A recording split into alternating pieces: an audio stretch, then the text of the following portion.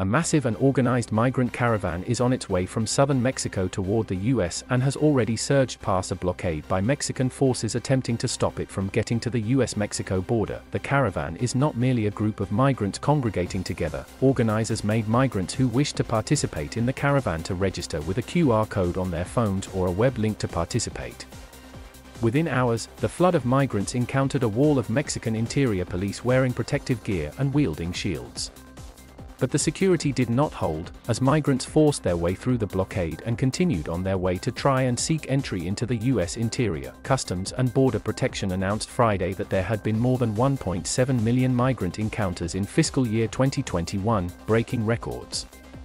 Additionally, there were more than 192,000 encounters in September alone, a slight decrease from the more than 200,000 encountered in July and August, but a sign that the border crisis that has dogged the Biden administration is far from over.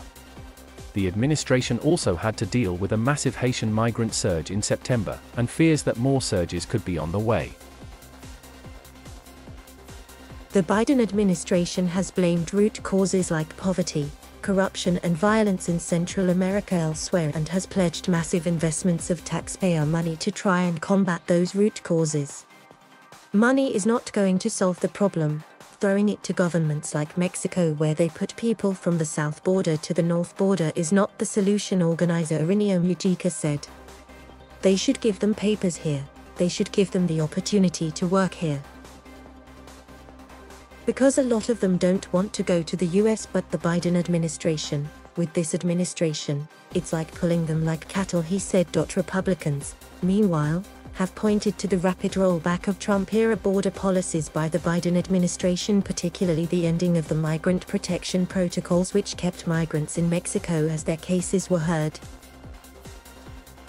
the Biden administration is currently reinstituting MPP after a court order forced it to do so but has stressed that it is also trying to end the program via a new memo. President Biden was asked this week why he had not been to the border amid the crisis. Biden said he had been there before but admitted I guess I should go down. However, the White House later could only point to a drive through the border that Biden took on the campaign trail in 2008 as evidence that Biden had in fact been to the border. Thank you for watching. Please subscribe